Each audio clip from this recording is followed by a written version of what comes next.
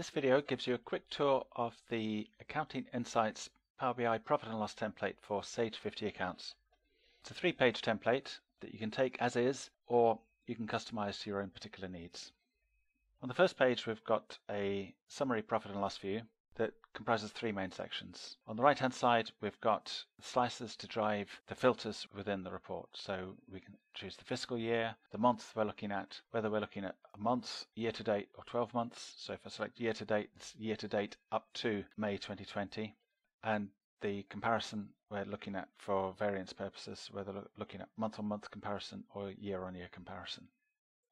In the center, we've got a waterfall chart showing the variance by nominal group in this particular case, we've selected May 2020, just looking at the months and comparing it with the previous month. So we can see straight away that our sales are down, purchases have improved, but our overheads are up significantly, and the result is a decrease in net profit by 6k. The chart at the bottom, the rolling 12 months, is intended just to give you a kind of rolling 12 month bird's eye view of the past. So it's a rolling x axis up to and including the latest month selected. So in this case, May 2020. And it just plots three figures. It shows the gross margin percentage for the previous rolling 12 months, the overheads ratio for the previous 12 months, and the rolling 12 month sales for the 12 months up to any particular month.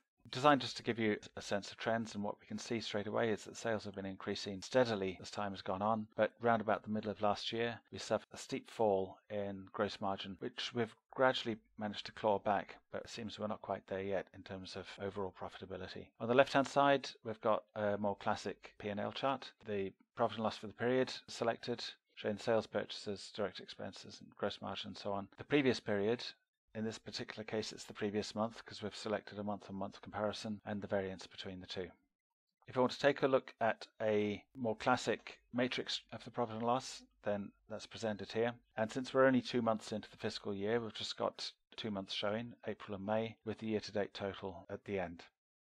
If I want to see a rolling 12-month view, I can just simply switch off this fiscal year filter That'll show me a rolling 12 month profit and loss view through to the end of May 2020 and with the total number for a rolling 12 month profit and loss. While this chart is showing a summary of all the figures, we can drill through to any of the individual values. So if I want to see what actually made up that 148k's worth of sales, I can right click on the figure and drill through to my product sales for May 2020 and that shows me every single transaction, including the transaction reference the customer and the description that made those transactions up.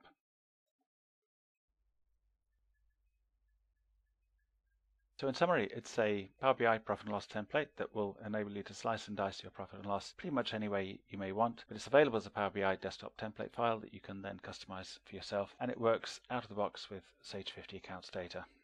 If you'd like to have a play with this or try it for yourself, you can follow the link at the bottom of this video.